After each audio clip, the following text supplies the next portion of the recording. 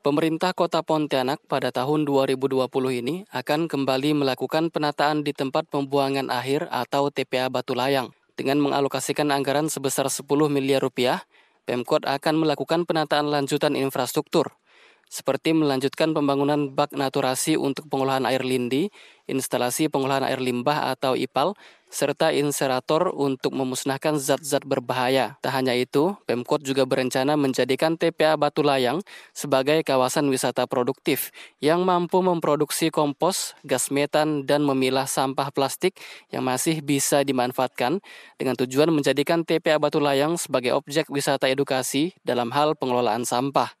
Pertama kita kan di Kecamatan Madinah Utara sama di Timur. Lahan sudah ada ya Pak?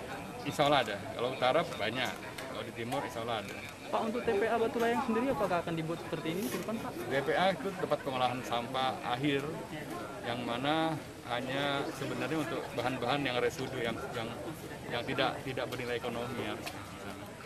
Areal TPA yang saat ini memiliki luas 30 hektar, rencananya juga akan ditambah hingga mencapai luas ideal, sekitar 50 hektar. Di lahan ini nantinya juga akan dijadikan kebun buah-buahan, sehingga image masyarakat terhadap TPA tidak lagi dianggap sebagai tempat yang kotor dan bau, tetapi justru menarik minat masyarakat untuk melihat konsep TPA yang berbeda dari TPA umumnya. Endra Pontipi memberitakan.